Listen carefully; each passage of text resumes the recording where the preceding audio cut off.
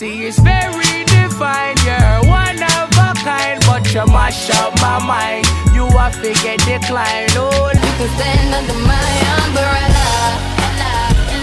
Eh, eh. Umbrella is a song that was featured on Rihanna's third studio album titled Good Girl Gone Bad, released 10 years ago in 2007. Just a fun fact, when the song was written, it was written with Britney Spears in mind, but her record label rejected the single which was then passed on to Rihanna supposedly.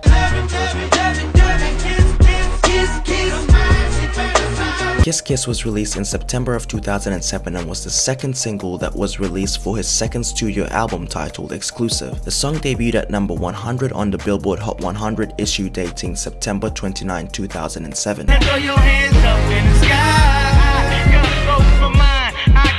Good Life is actually a song that was released around this time back in 2007. It was the third single of Kanye West's third album titled Graduation, and though it debuted at number 63 on the Billboard Hot 100 during the week of September 22, 2007, it peaked at number 21 here in Australia, 23 in Canada, 11 in New Zealand, 23 in the UK, number 7 in the US Billboard Hot 100, number 2 in the US Radio Songs for Billboard, and number 1 for US Hot Rap Songs for Billboard. You have me suicidal, suicidal.